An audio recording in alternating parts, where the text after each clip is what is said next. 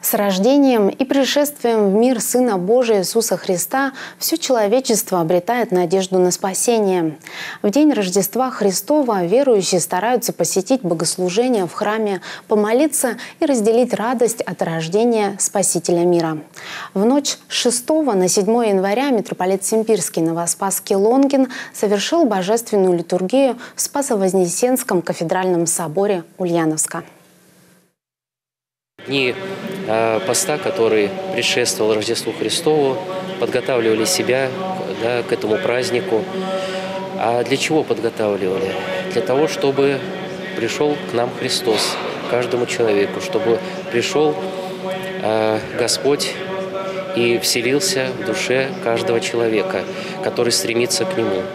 Как говорит Господь, все стою у дверей и стучу, кто отворит да, дверь, к тому войду и буду вечерять с ним, буду с ним как гласит Священное Писание, Спаситель родился зимней ночью в иудейском городе Вифлееме. Мать Христа, Дева Мария, прибыла в город вместе с Иосифом Обручником для участия в переписи населения. Однако для них не нашлось свободных мест в гостинице. Путники были вынуждены остановиться в пещере, куда пастухи сгоняли скот на ночлег, по-старославянски «вертеп». Там божественный младенец и появился на свет. К ночующим неподалеку от пещеры пастухам спустился ангел, который и известил их о произошедшем чуде люди. Затем дары Бога-младенцу принесли мудрецы-волхвы с востока, которых к Вифлеемской пещере привела звезда. Узнав о рождении Мессии и желая его уничтожить, опасаясь за свою власть, царь Иудеи Ирод приказал убить всех младенцев в возрасте до двух лет. Однако Христос был спасен от смерти, поскольку Пресвятая Богородица и Иосиф Обручник укрылись в Египте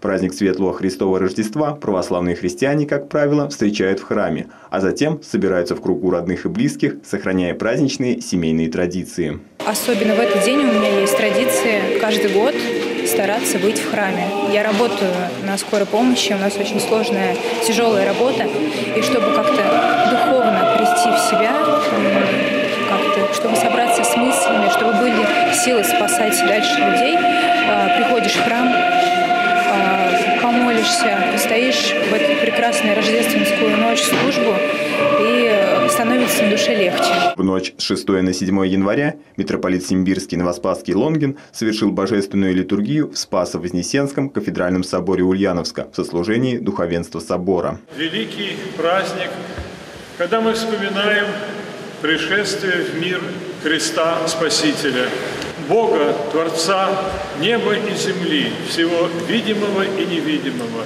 который ради людей, ради спасения их от греха стал человеком, таким же, как и мы с вами, только безгрешным, и пострадал, понеся возмездие за грех всего человеческого рода.